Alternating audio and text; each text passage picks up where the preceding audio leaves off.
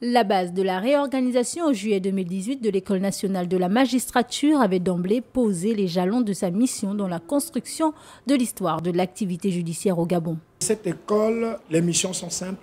Elle a deux missions pédagogiques. La première mission, c'est une mission de formation initiale. Formation initiale des élèves magistrats, des élèves greffiers, des élèves huissiers et des élèves administrateurs pénitentiaires. C'est l'école de la sécurité pénitentiaire dans les textes.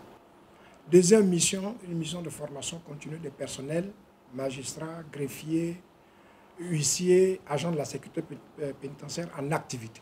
L'école a également une mission de formation des formateurs. Voilà l'école nationale de la magistrature.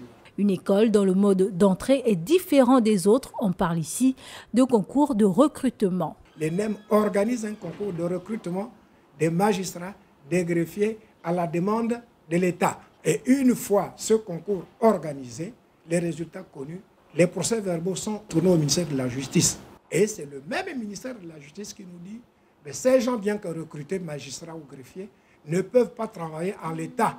Il faut leur donner une formation professionnelle pour leur apprendre les aptitudes, les attitudes, les capacités indispensables à l'exercice des, professions pour lesquelles ils ont été recrutés. L'expertise métier étant au cœur de l'activité, l'École nationale de la magistrature veille le reste de l'année ou en absence de concours de recrutement à se réaliser à travers une série de formations de son personnel interne pour une meilleure transmission des savoir-faire et des savoir-être.